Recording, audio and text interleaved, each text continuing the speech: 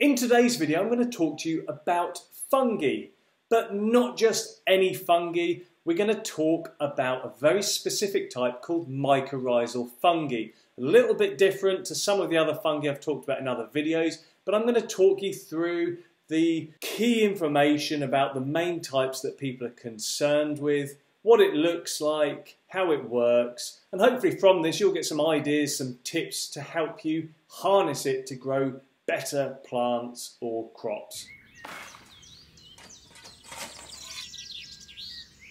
So I have done other videos on fungi before. Those have generally centered around different types of fungi in the soil, such as the saprophytic type, which are really important because they break down soil organic matter and help create that nutrient cycling, feeding your plants through natural interactions within the soil.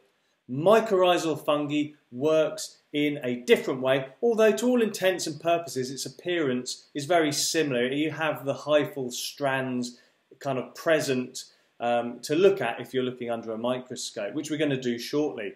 However, the mycorrhizal fungi forms a unique bond with particular plants and if all goes to plan, that bond can last the entire lifespan of the plant.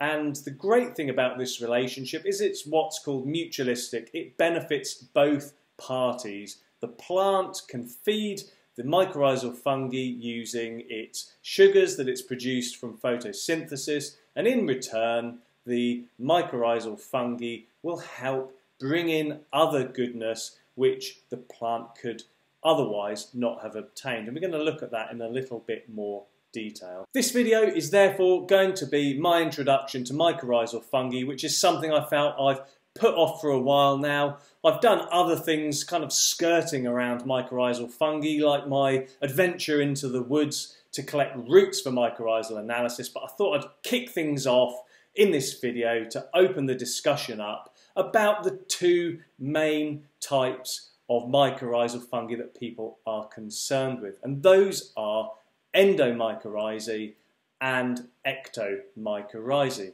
But what are these two different kind of families of mycorrhizal fungi? How are they different?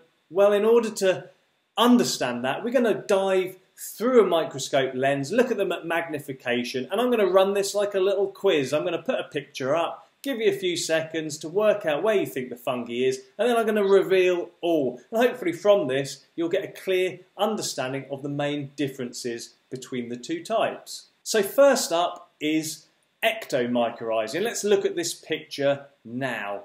I'm going to give you some clues.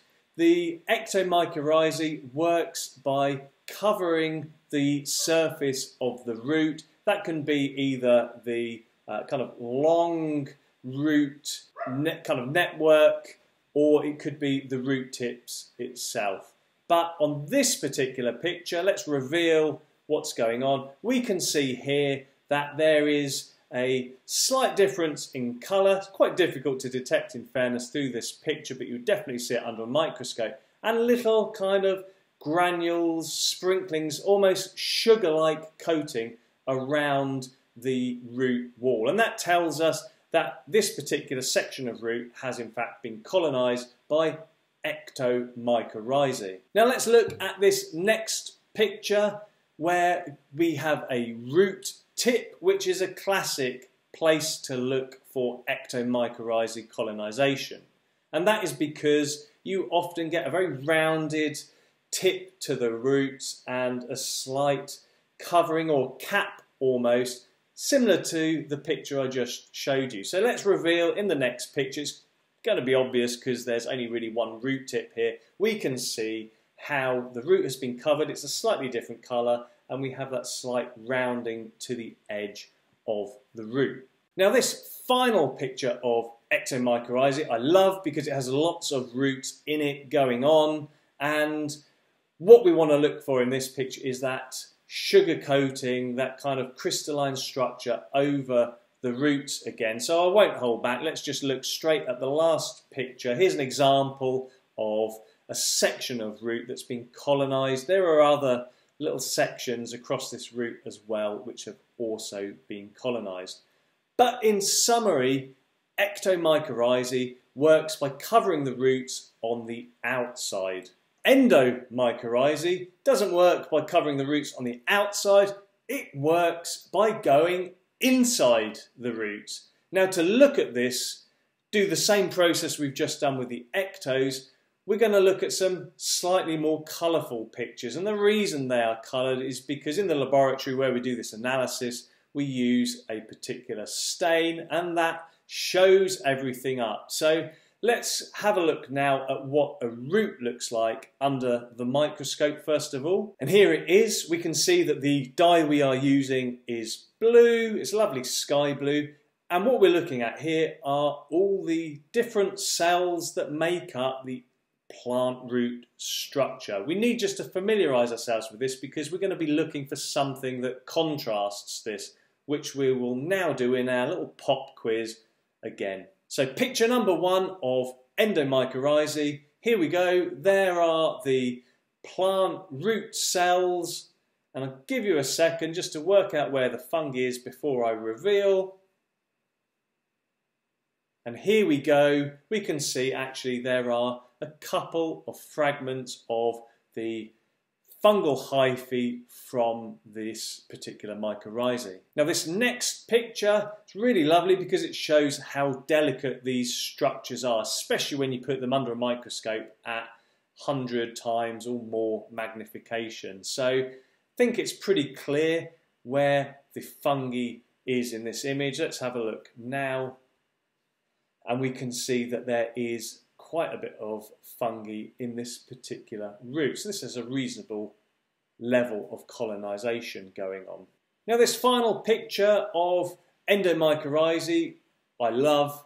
It has something slightly unique going on as well, and that's a different part of the fungi's anatomy. So we can see the plant cells, and once you've got your iron already, it is pretty clear where the fungi is colonizing, but we can also see these little blobs, almost cyst or seed-like uh, objects as well, which are part of the mycorrhizal fungi too. They are called vacuoles, and they are intercellular storage bubbles which are filled with water and enzymes which are great for killing off and building other molecules within this complex hyphal network that the fungi has going on. Hopefully that little exercise makes it clear as to the main differences between the two. And this is really important because different plant types prefer endo or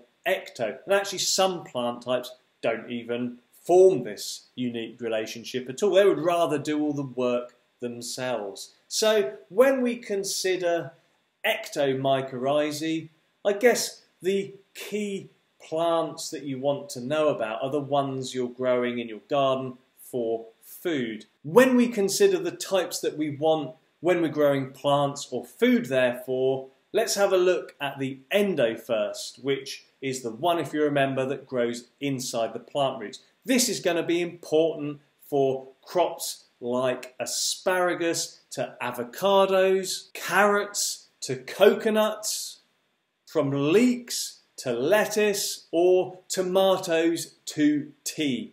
All of these crops and actually 85% of plants that exist prefer an endomycorrhizal fungi. The ectomycorrhizae, so the ones which work by covering the plant roots, plants that prefer this kind of association are generally woody shrubs and trees. That'll be things like oak trees through to larch trees and a whole host more. A much smaller fraction of crops, in fact, prefer this association. In fact, it's estimated to only be in the region of around 10% of plants that exist that benefit or like this unique kind of symbiotic relationship with an ectomycorrhizal fungi.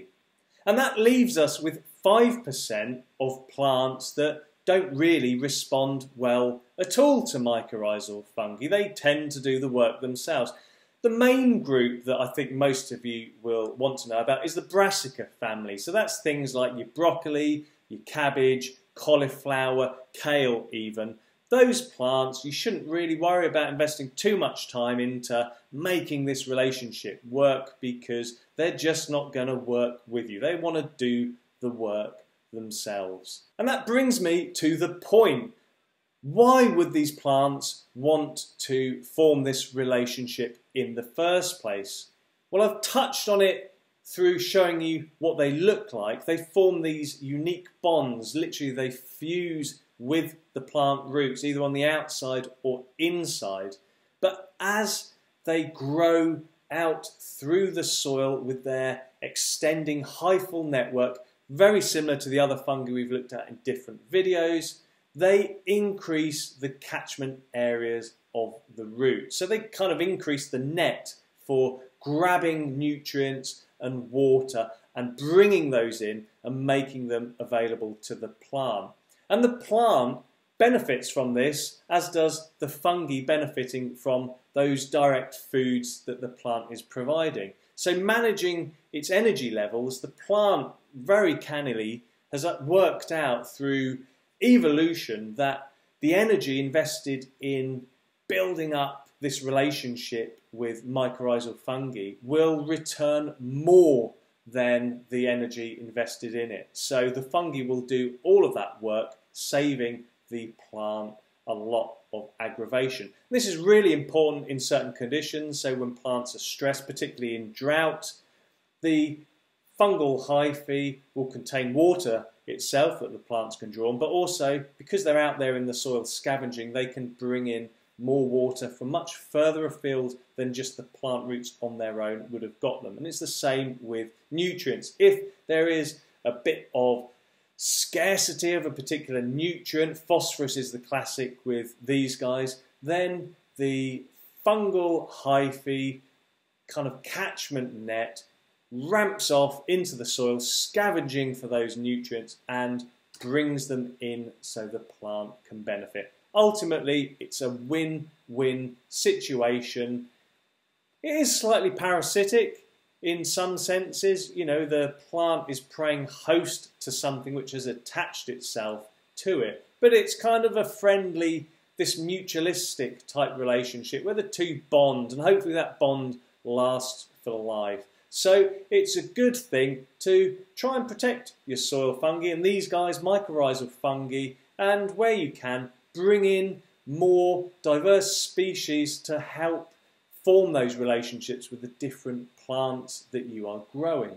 Well, there you go, guys. A quick 101 on mycorrhizal fungi. I hope you enjoyed it. If you've got questions, do stick them in the comments below. Eventually, I do get round to answering them all. I've been a bit slow of late, but I will try and be a bit quicker. I love hearing from you guys, so do give me feedback, questions about stuff on the channel, and suggestions for content as well. That really helps. If you're new to the channel, please consider subscribing and give the video a like if you enjoyed it as well. And until the next video, I will see you.